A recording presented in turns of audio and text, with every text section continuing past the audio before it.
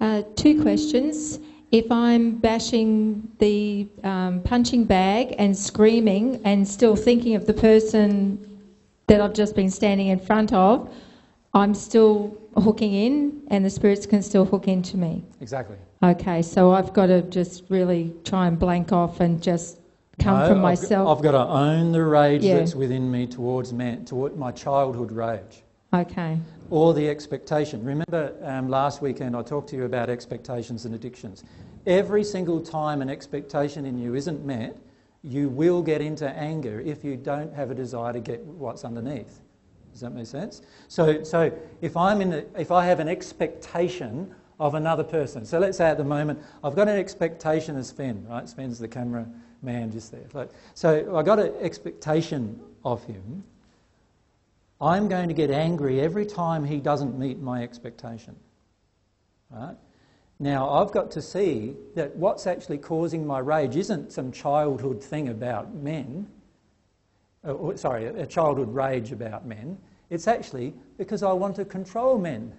I want to get a man to do what I want.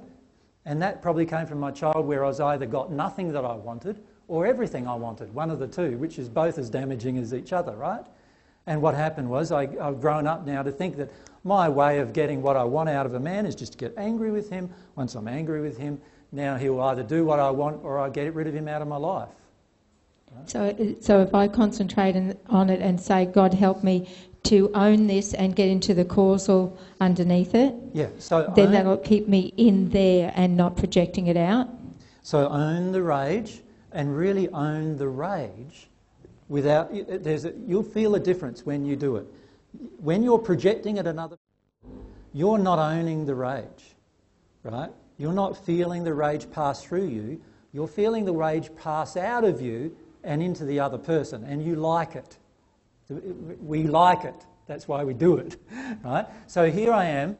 I'm in a rage. I'm not so sure there's no one this one either. I'm in a rage, let's say, at a person. So I'm in a rage at this person. I want to be. I'm not owning the fact that I want to be, right? When I really want to feel my rage towards women, in this case, because that's a woman I'm in a rage with, when I really want to feel my rage towards women, it will pass through me, not to her. So, what, what you find happen is that you can feel it inside when somebody does this. You can be with a person talking to them and feel that they're in a rage with you, and then all of a sudden they own their own rage inside of themselves, right? And now you don't even feel the projection of rage. They, they're screaming and yelling, but you're not feeling it hammer you anymore. And if you're sensitive to it, you'll feel the difference between those two states. And you'll also eventually feel the difference between those two states inside of yourself. When I own my own rage, I don't want to have a voice to somebody else with it. I just feel it, feel it, feel it in me. And ironically, when I'm in that state, very, very rapidly I get to the underlying terror or grief. Like for myself, it's usually a minute. Like, well, now I don't get into rage very often, but if I do, it's usually one minute. One minute and I'm crying. It doesn't last very long at all. Can I just ask something else? When you're talking about um, the willingness to deal with it, Yep. if I'm not willing because I'm not getting into it, can I pray to God to help me have the willingness to um, get into the causal emotion? Well, I, I suppose you can pray to God about anything, can't you? But, but if I'm not willing, I, I can certainly ask God to help me be willing. But am I being honest with myself? Like, if I'm not willing, wouldn't it be, wouldn't it be more appropriate to pray to God about why I'm not willing? Okay, I knew there was something that I was missing there. be so that's what, truthful. why am I not willing? And Yeah. show me that. Yeah, and then show me that. the law of attraction will help me to get into that. Because God's not going to make you willing. Because it's your free will that makes you willing. God's not going to make you willing. Yeah. What God's going to do is expose to you the reasons why you're not willing. Yes, God will yeah, certainly do that. That's more or less what I was getting at. Yep. If I ask him to help me become willing, then through my law of attraction, he will help me to. No. No, I have to ask why am I not willing, Yes. and then the law of attraction will kick in. Yes, because, because let, let's be specific. If I, if I know I'm not willing, how can a prayer to God asking Him to make me willing actually make me willing. Like, uh, like firstly, he can't answer the prayer because it's out of harmony with love. And how is he going to answer the prayer? Only by showing me why, why I'm not willing anyway.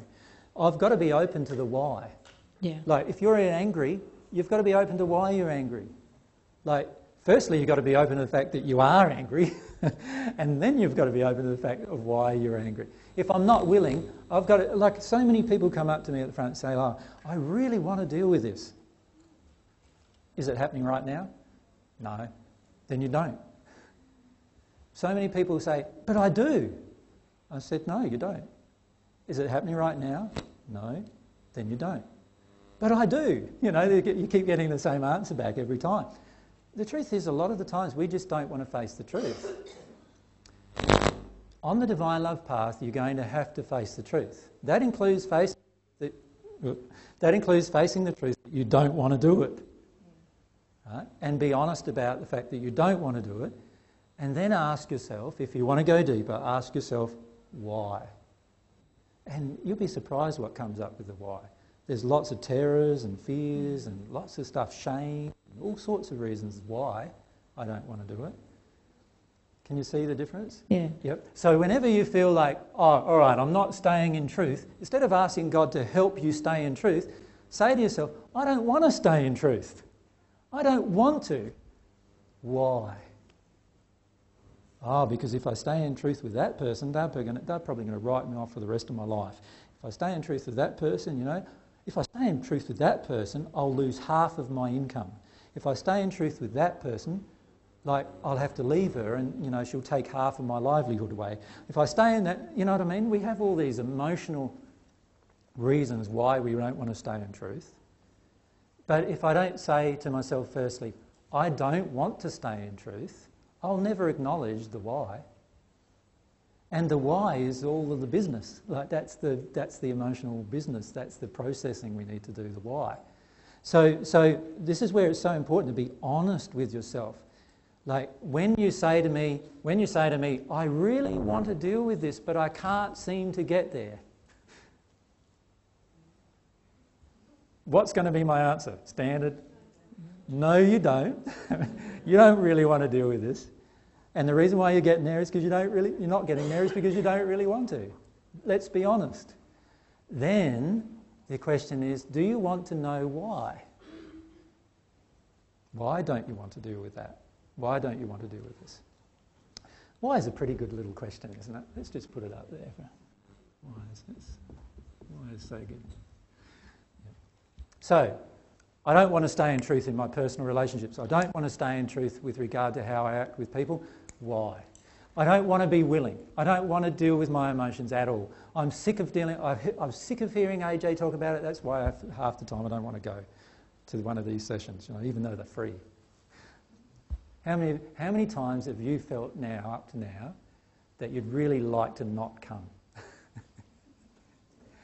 Many of you are not being honest because plenty of times where you haven't felt that.